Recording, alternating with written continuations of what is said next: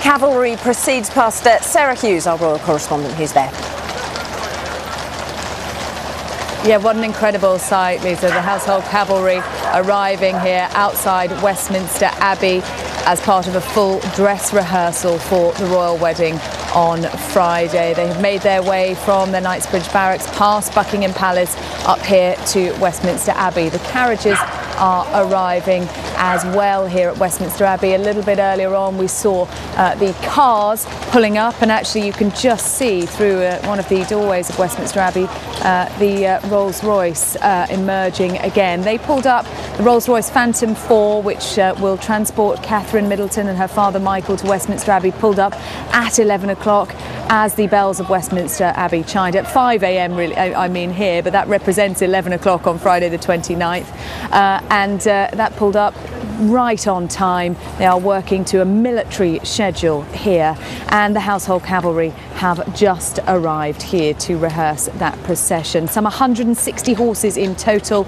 will escort uh, Prince William and his new bride Catherine uh, back from Westminster Abbey to Buckingham Palace and also providing a sovereign's escort for the Queen and the Duke of Edinburgh who will be travelling in one of the carriages. Now if the weather is fine on Friday then uh, William and Catherine will be travelling in the 1902 State Landau. It's an open carriage and that will give people a wonderful view of them as they uh, travel along the route back to their reception. If it's not fine, however, they'll be travelling in the glass coach, and uh, that famously was used to transport Diana, Princess Diana, to St Paul's Cathedral for her wedding. Uh, the Ascot Landaus, you'll recognise those. They take part in the parade at Ascot every year. They'll carry the best man, the maid of honour, uh, Catherine's sister, Pippa Middleton, the bridesmaids and the page boys back, and there'll be uh, semi-state Landaus carrying the Queen and the Duke of Edinburgh, the Prince of Wales, the Duchess of Cornwall, and Mr. and Mrs. Middleton in that parade. Some 160 horses.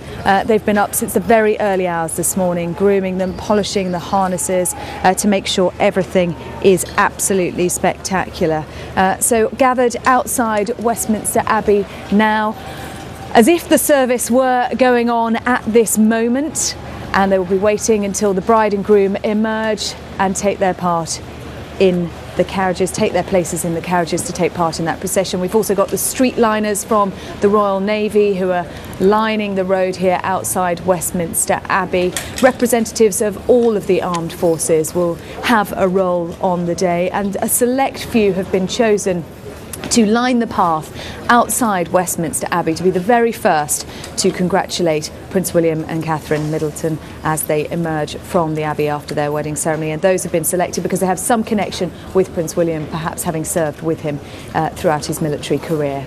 Sarah, you mentioned uh, more than 100 horses taking part in the parade, uh, but there's still nine horses that aren't exactly sure of the part that they'll play or whether or not they will actually get to be part of the Royal Cavalry.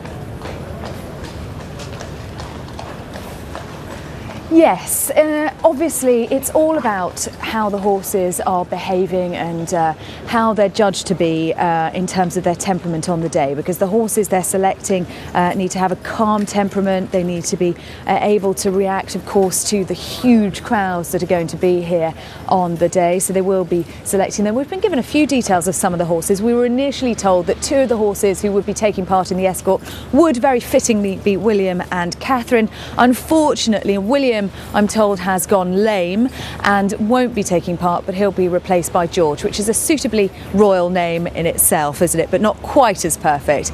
Um, so we will have to wait and see until the last moment and we'll get final confirmation of which horses will be taking part. But a huge honour for them and a huge honour for all of those here today, the Household Cavalry. And this is a real sign of their dual role. Of course, they are involved in ceremonial state occasions uh, throughout the year, whether that be trooping the colour whether that be the state opening of Parliament. But a royal wedding is something very, very special. Uh, I understand they're all very excited about it, and it will be a very, very important day for them as they're out on parade. Certainly will be. Sarah, also, uh, we can see obviously this parade has been, uh, this run through has been taking part in the early hours of the morning and now London's waking up and there's quite a few members of mm. the public there as well, uh, and some hardy campers as well.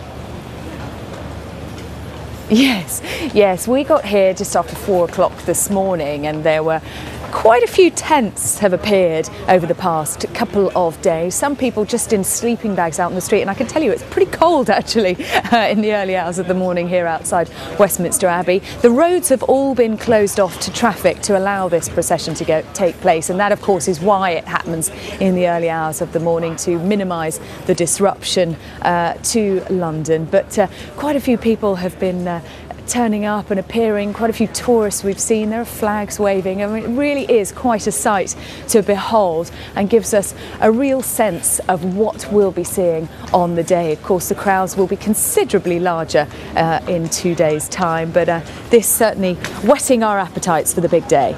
It certainly is. And uh, you mentioned it's quite chilly there at the moment. Of course, the weather will play a huge part on the day.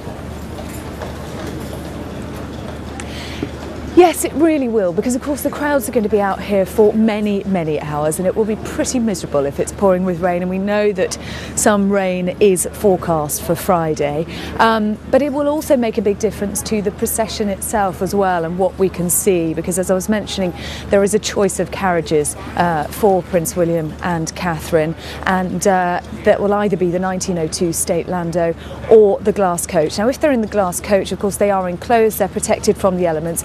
There are lots of windows, that means we will be able to see them, but it won't be the same as that open 1902 State Landau, which will give us an absolutely fantastic view of the royal couple. Uh, it was used uh, for Prince Charles to travel to St Paul's. Uh, he returned in it uh, with Princess Diana after his wedding. The Duke and Duchess of York returned from their wedding at Westminster Abbey too in 1986. So we will have to keep our fingers crossed, Lisa, that we do have good weather on the day so we can see as much as possible of the bride and groom. We will indeed. Let's for sunshine. Sarah Hughes, thanks very much outside Westminster.